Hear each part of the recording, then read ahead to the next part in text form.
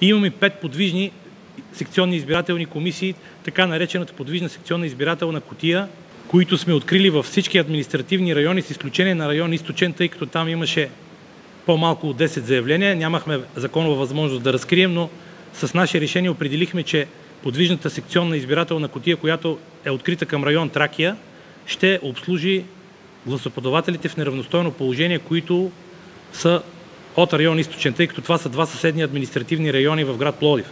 Ще ви дам информация за избирателната активност до момента, до 10 часа, по райони първо, за да може да ви е по-лесно.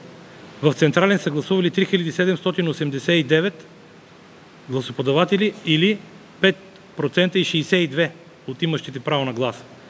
В Източен 1570 гласували, като процент 3,43.